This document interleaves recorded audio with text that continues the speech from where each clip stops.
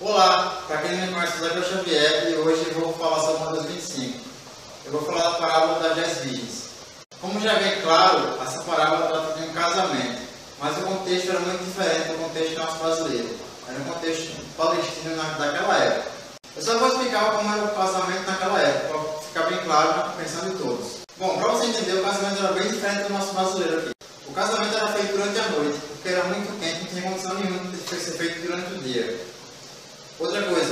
Quem atrasava não era a noiva, era o noivo. A noiva ia com as gemas de companhia para a casa do pai, esperava que o noivo chegasse. O noivo saía durante a noite com um cortejo formado pelos seus melhores amigos para buscar a noiva, com lâmpadas e tochas que era para clarear o caminho, porque a iluminação era a luz do luar. As noivas ouvindo que o noivo vinha, se apressavam e iam ter com ele. As noivas ouvindo que vinha o noivo, terminavam de se arrumar e se encontravam com o noivo para juntos entrar no lugar lá na casa e celebrarem o casamento. Esse casamento era na casa do noivo, ou seja, o noivo saía da casa dele com um cortejo formado pelos seus melhores amigos, ia até a casa da noiva, como diz o texto, mandava alguém à frente e alguém estava, aí vem o noivo, saí e ao encontro. Então elas terminavam se ajeitar e iam atrás desse pessoal, que estava com os amigos de noivo, para ir até a casa do noivo. E depois disso, os portões eram fechados para que ninguém, nenhum intruso aparecesse. As lâmpadas eram muito pequenas e faziam parte do vestido da noiva e tinham que ser reabastecidas com azeite a cada 15 minutos.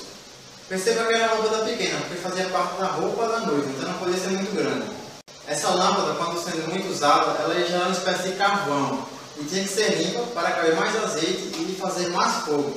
E também a noiva ela tinha uma reserva de azeite, porque ela não sabia quanto tempo ia demorar, quanto tempo ele ia andar, quão longa seria a jornada, se ela ia andar por 15 minutos, uma hora, ela não sabia. Então ela tinha que trazer consigo uma reserva de azeite. Então aqui no próprio texto fala que as prudentes tinham uma reserva, mas as loucas não tinham e foram comprar. E chegaram atrasadas. E a lâmpada é pequena, então não cabia muito azeite nela. Então precisava ter aquela reserva. E por que 10 virgens? Porque 10 dá a totalidade.